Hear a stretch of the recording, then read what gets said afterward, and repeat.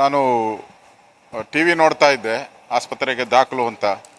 ನಾನು ರೆಡಿಯಾಗಿ ಹೊರಡೋಣ ಅನ್ನೋ ಅಷ್ಟೊತ್ತಿಗೆ ನಮ್ಮ ಡ್ರೈವರ್ ಬರೋ ಅಷ್ಟೊತ್ತು ಮತ್ತೆ ಮೆಸೇಜ್ ಮೆಸೇಜ್ ಬಂತು, ಅವರು ನಿಧನ ಆಗಿದ್ದಾರೆ ಅಂತೇಳಿ. ನನಗೆ ಅವರ ಮನೆಯವ್ರ ಹತ್ರ ಮಾತಾಡಿದೆ, ಡ್ರೈವರು ಮತ್ತು ಅವರ ಕಿಚನ್ ಇವ್ರ ಹತ್ರ. ಅವರು ಬಾತ್ರೂಮ್ಗೆ ಹೋಗಿದ್ದಾರೆ, ಅಲ್ಲಿ ಅವ್ರಿಗೆ ಹೃದಯಾಘಾತ ಆಗಿದೆ. ಅದಾದ ತಕ್ಷಣ ಇಮಿಡಿಯೇಟಾಗಿ ಇಲ್ಲಿಗೆ ಕರ್ಕೊಂಬಂದಿದ್ದಾರೆ.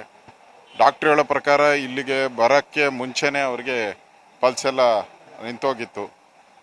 ಇಲ್ಲಿ ಭಾಳ ಸುಮಾರು ಒಂದು ಅರ್ಧ ಗಂಟೆಗಳ ಕಾಲ ಪ್ರಯತ್ನ ಮಾಡಿದ್ದಾರೆ.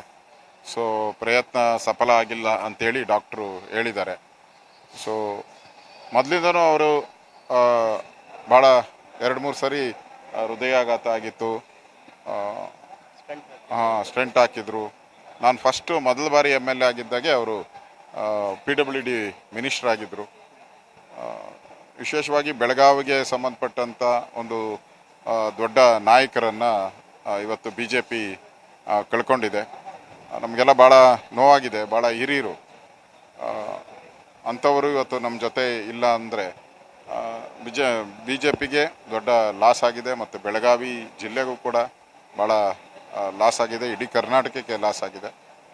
ಅವ್ರ ಮನೆಯವರು ಈಗ ಬರ್ತಾ ಇದ್ದಾರೆ, ಹಾವೇರಿ ದಾಟಿದ್ದಾರೆ. ಈಗ ಅವ್ರಿಗೆ ಬರೋ ಅಂಥದ್ದಕ್ಕೆ ಅಲ್ಲಿ ಜಿಲ್ಲಾಧಿಕಾರಿಗಳಿಗೆಲ್ಲ ಫೋನ್ ಮಾಡಿ ಹೇಳಿದ್ದೀನಿ ನಾನು.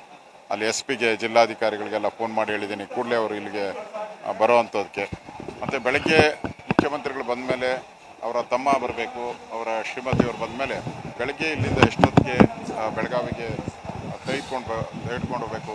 ಸುಧಾಕರ್ ಅವರು ಇದ್ದಾರೆ ಡಾಕ್ಟರ್ ಸುಧಾಕರ್ ಅವರೆಲ್ಲ ಏರ್ ಲಿಫ್ಟ್ ಮಾಡುವಂಥದ್ದಕ್ಕೂ ಯೋಚನೆಯನ್ನು ಮಾಡ್ತಾ ಇದ್ದಾರೆ. ಹೋಗ್ತಾರೆ?